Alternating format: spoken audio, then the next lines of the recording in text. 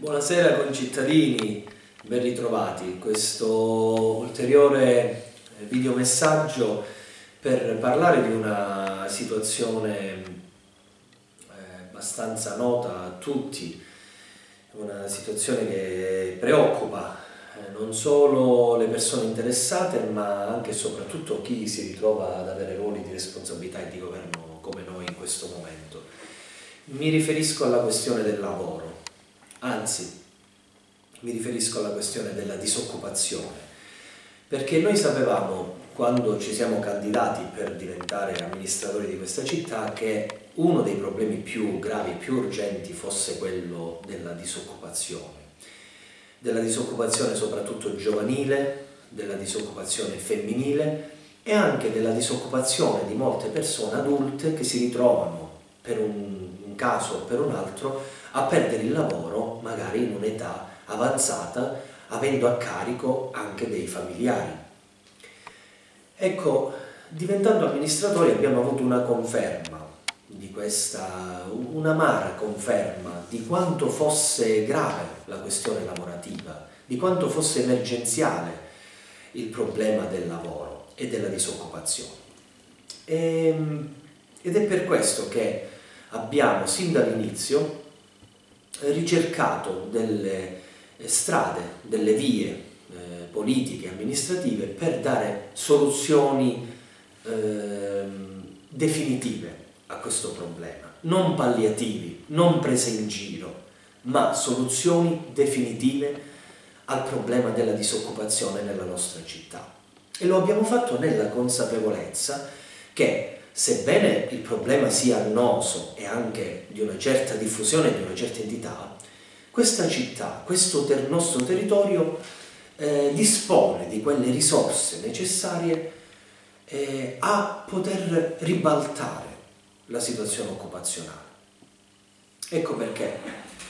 sono eh, grato eh, al vice sindaco qui vicino a me, al, all'amico, devo dire, oltre che collega vice sindaco e assessore al lavoro e alle attività produttive Graziano Fusaro, perché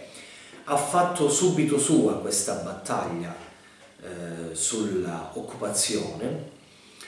e eh, ha messo in campo delle scelte, ha avviato a soluzione, sta proponendo a me, a noi dell'amministrazione, delle soluzioni eh, appunto risolutive di questo problema. In questa ottica ha deciso in collaborazione con un'agenzia di aprire uno sportello lavoro, uno sportello lavoro che potesse offrire l'opportunità a quanti, tantissimi, il lavoro non ce l'hanno o ce l'hanno precario nella nostra città, di poter avere delle opportunità. Ecco, chiederei a Graziano di eh, introdurre, di spiegare questo, questo, sportello a quanti ancora non sanno che è, è, stato istituito nella nostra città, nel nostro municipio. Io ringrazio il Sindaco per le belle parole e colgo uh, questa opportunità per cercare di entrare un pochettino nel merito di questa scelta e come uh, le modalità con cui le persone possono uh, accedere a questa nostra iniziativa. Innanzitutto eh, lo sportello lavoro si eh, ingloba in un discorso un po' più ampio in cui stiamo cercando di valorizzare quelle che sono le attività produttive eh, del nostro territorio e quindi stiamo cercando di stare vicino, cercando di eh, sviluppare le potenzialità di quelle che sono le attività nel, nel commercio, nell'artigianato, nell'agricoltura eh, cercando di intraprendere delle iniziative a sostegno delle attività produttive perché così facendo siamo convinti di poter ridistribuire sul nostro territorio posti di lavoro di varie nature con varie eh, diciamo, qualifiche per i nostri giovani e meno giovani. In questo momento si è aperta una finestra, uno spiraglio, che è quello di accedere a quelli che sono dei bandi regionali che permettono la eh, reimmissione nel mondo di, del lavoro delle persone che in questo momento si trovano disoccupate e anche agli inoccupati e, e si rivolgono a diverse fasce di età. In questo eh, particolare momento abbiamo la possibilità di fare accedere i giovani a quella che è una misura appositamente chiamata garanzia giovani